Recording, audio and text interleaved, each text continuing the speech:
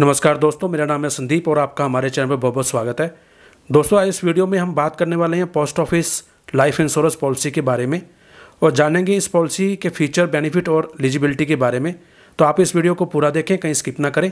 तो चलिए स्टार्ट करते हैं। तो दोस्तों, जैसे कि आप सब जानते हैं कि पोस्ट ऑफ़िस की स्मॉल स्कीम में निवेश करने पर आपको अच्छा रिटर्न और पैसों की सुरक्षा की गारंटी दोनों मिलती हैं। और इसी तरह पोस्ट ऑफ़िस की लाइफ इंश्योरेंस पॉलिसी में भी आपको कई सारे फ़ायदे मिल जाते हैं। आपकी जानकारी के लिए बता दें कि इस योजना को एक फरवरी अठारह सौ चौरासी को पोस्टल लाइफ इंश्योरेंस के नाम से शुरू किया गया था। यह भारतीय इतिहास में सबसे पुरानी इंश्योरेंस पॉलिसी है। यह भारत सरकार की एक जीवन बीमा स्कीम है।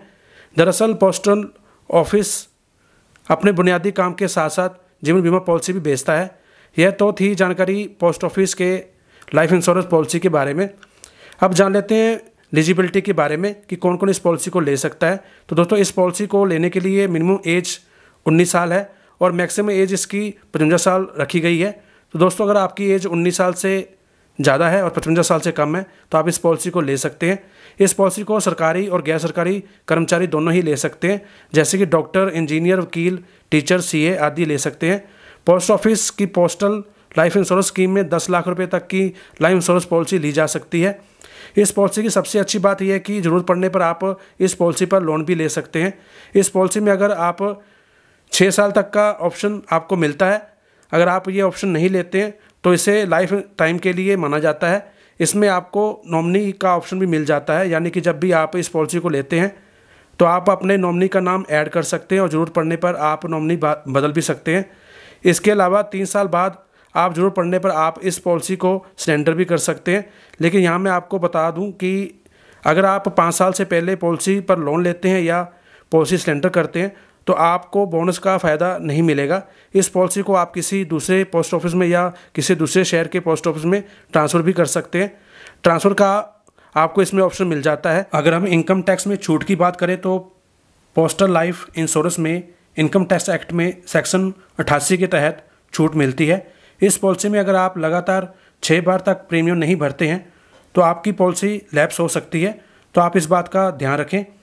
पोस्ट ऑफ़िस की लाइफ इंश्योरेंस पॉलिसी के प्रीमियम का भुगतान सालाना, छमाही या मासिक आधार पर किया जा सकता है। यानी कि आप इसका प्रीमियम साल में एक बार भी भर सकते हैं और साल में दो बार भी भर सकते हैं और हर महीने भी इसका प्रीमियम भरा जा सकता है।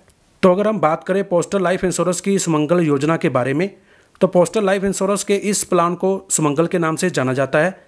यह बीमा प्लान पाँच लाख रुपये के अधिकतम बीमित रकम के साथ मनी बैंक पॉलिसी है। यानी कि अगर आपको भी समय समय पर कुछ रकम की आवश्यकता होती है तो आप ये पॉलिसी ले सकते हैं। पोस्टल लाइफ इंश्योरेंस के सुमंगल प्लान में एक ग्राहक के रूप में आपको समय समय पर सर्वाइवल बेनिफिट मिलते हैं। बीमा खरीदने वाले व्यक्ति की अप्रत्याशित मृत्यु की स्थिति में इस तरह के भुगतान को शामिल नहीं किया जाता है। बीमा होल्डर के मृत्यु के बाद नॉमिनी या कानूनी उत्तराधिकारी को बोनस के साथ डाक जीवन बीमा की पूरी राशि मिल जाती है। पोस्टल लाइफ इंश्योरेंस के इस प्लान में दो तरह की पॉलिसियाँ होती हैं, एक पंद्रह साल के लिए और दूसरी बीस साल के लिए। अगर आप पंद्रह साल वाली पॉलिसी लेते हैं तो आपको छः साल के बाद कुल जमा राशि का बीस परसेंट, नौ साल के बाद बीस परसेंट और बारह साल के बाद बीस परसेंट और पंद्रह साल पूरे होने पर बकाया राशि विद बोनस आपको मिल जाता है।